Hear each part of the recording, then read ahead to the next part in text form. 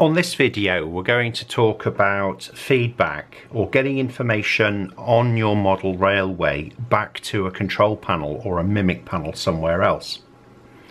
The core of your feedback system is this module here, the feedback module, and it allows you to connect up to 24 sensors through these connectors here and put this information back through the network to your multi-panel.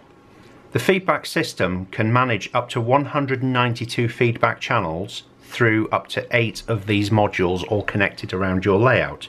This is the sensor for DCC track occupancy and it will allow you to detect when a train is on the track and allow you to illuminate a road on your control panel, your mimic panel, to show you that that section is occupied. And this is the sensor for point position indicator. Again, at this point it's for DCC and it will allow you to detect the actual measured position of a set of points or turnouts on your layout.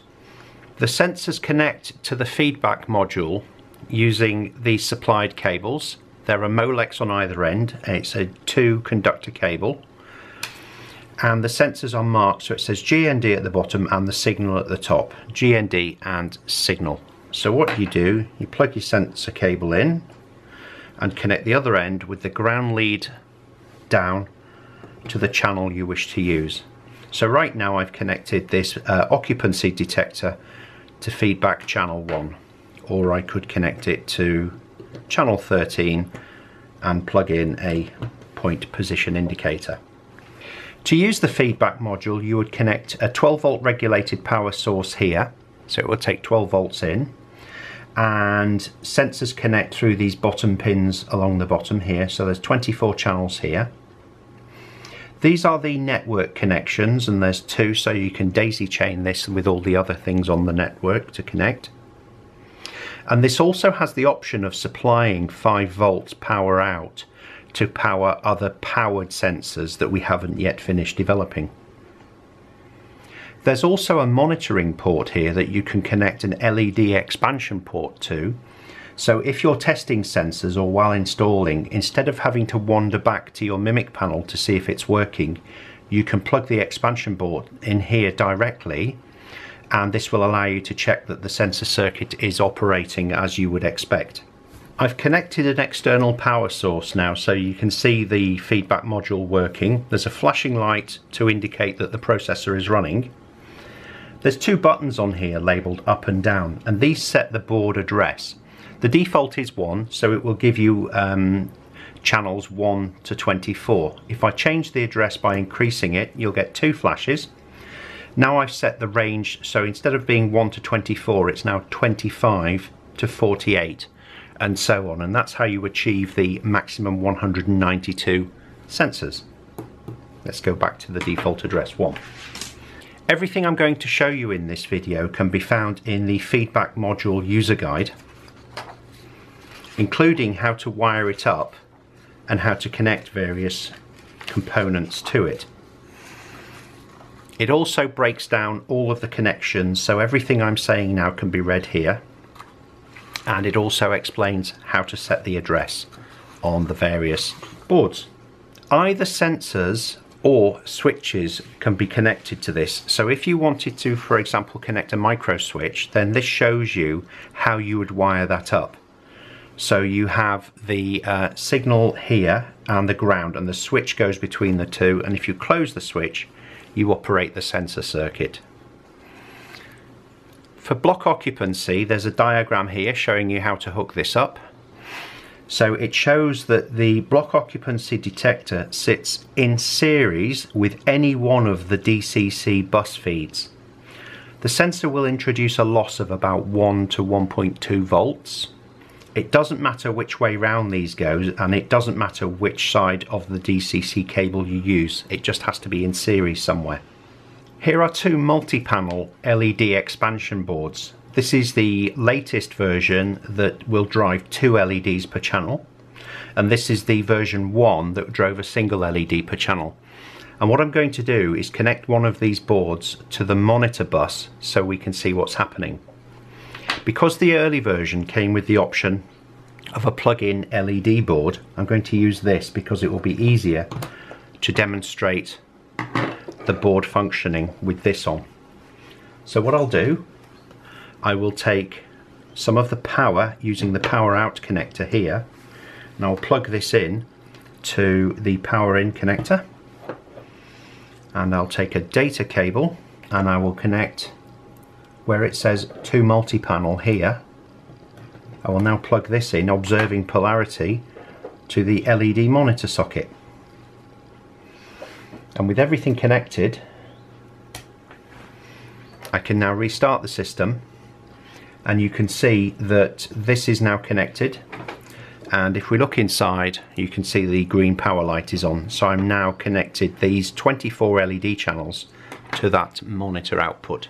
What this means is that I can see all of these circuits now illustrated on here. These are open collector inputs which means that I generate 5 volts on the top and I have a ground at the bottom. So if I were to short them out by putting a screwdriver across the terminals you can see channel 1 has illuminated. Now do not connect anything directly to these other than a sensor.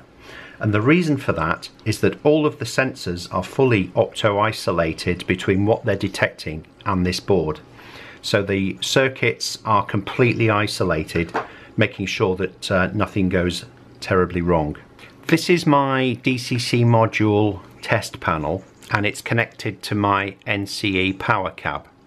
This means I can generate a DCC signal on this track here, which is now live, and I'm going to use this to pass a signal here to detect.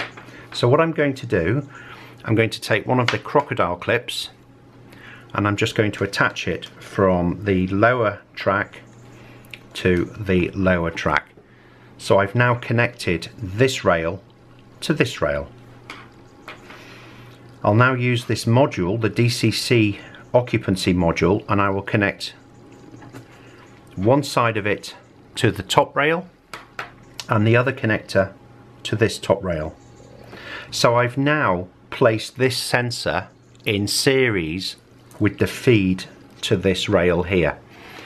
That's exactly how it's illustrated in the documentation here where I have this in series with the feed. The feed here is this track and it's feeding through the sensor. Direction does not matter, lead does not matter to this block. I'll take one of these cables, plug the black into the bottom and connect the black here also onto the bottom and I'll connect it to channel 1. So I've now connected this sensor to channel 1. It's so sensitive that if I lick my fingers and touch the track you can see the occupancy LED has illuminated. So I'm generating feedback information and that sensor is working. Press, you can see it working, let go and it stops. So that is occupancy detection for um, a single block. The point position indicator is essentially a voltage detector. So if it's detecting voltage, then it will indicate uh, and send the signal out here. So if I connect again the detector to the feedback module, let's connect this to channel number 13. This is now hooked up. So if I introduce a DCC signal to the detection side, you can see LED 13 is on and now it's off. So what we need is a way of hooking this up to a set of points so that we can detect which way they are turned. There are several ways to connect the point position indicator to your points. In my opinion, the best way is to attach one of the sensor leads to the closure rail here and the other to one of the stock rails. That way, irrespective of the position of your points, it will always give you a correct reading. Another slightly more simple method is to connect it to your frog switch. But obviously at this point it's measuring how the frog switch is set, not the actual points themselves. So if somebody was to walk up to your layout and move the points over by hand, it wouldn't correctly register it. This method does. So I have my leads here and I'm going to connect the sensor input like so. The black lead comes onto the closure rail here and when the blade touches the stock rail it forms a circuit so I'm effectively picking up this rail and also the signal from this rail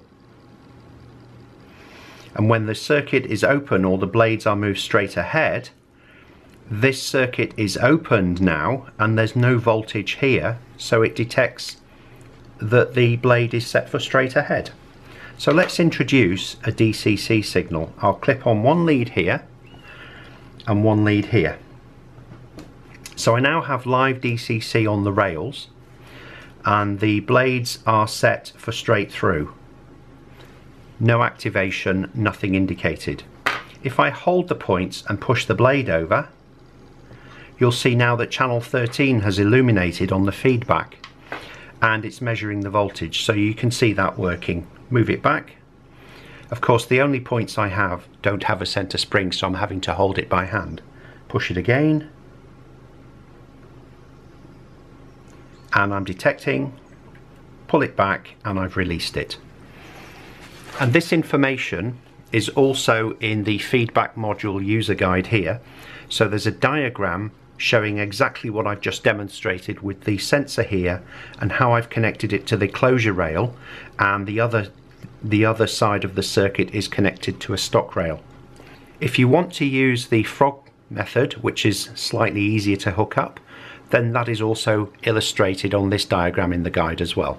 Now we've seen the feedback module working we don't need this test board anymore so I can remove it. It's just a neat little trick if you're setting up your layout and you want instant feedback as to whether your circuit's working or not. So with that board on it allows you to, to see straight away. So the point of this is that the feedback modules are installed around your layout all sharing the same wiring network that's controlling your points, your gates, barriers, doors, whatever you're animating on your layout. And using that same network, it's also transmitting data back to the multi-panel on how the points or blocks are occupied. So I've now connected the network to the multi-panel and I'm going to bring on the LED test board again and I'm going to connect it now to the multi-panel feedback bus. There's the data connection and I will use some power from here to connect this. So if I throw the points, channel 13 has illuminated, release it, and it's set for straight through. This time, this circuit is being driven from the multi-panel, so this could be tens of meters away from this board that is somewhere on my layout. Here's a little teaser of what I've set up for demonstration. I have track with two sets of points and I've broken this into four sections. Section 1, Section 2, Section 3, Section 4. And with each section I've added a block detector. So there's one here, Section 2, Block 2 is here, 3 and 4. And if I move a train or touch it with wet fingers anywhere on this, then the panel will illuminate. I've used solenoids to drive the points because I've added a pair of point position indicators as well and these are measuring through the closure rail and the blade just as I showed you in the video earlier. So if this is on and active and I move a set of points then the panel will update to display correctly how this is set and if you move it by hand the panel should be able to display how that's set as well. I have the feedback module here and I've connected six channels to it. One, two, three, four, five and six, though this can drive 24 channels as it sits. And I've also added a solenoid driver here. This is a six-way solenoid driver and I've connected solenoids one and two to it. All of the electronics here and the detectors are driven through this 12 volt battery here and this powers the circuit and at this point here I have a DCC signal input which I can put a DCC signal on the track ready to run stock. So between this and the Mimic panel, I have a single network cable connecting here and where, whether I connect it at this point or this point doesn't matter. Uh, it will bring all of this information onto my Mimic panel and allow my Mimic panel to operate the solenoids using the single cable. The next video will cover the wiring of the Mimic panel for this so you'll be able to see me hook it all up and connect this to this test layout and you'll be able to see it all operating. Thanks for watching.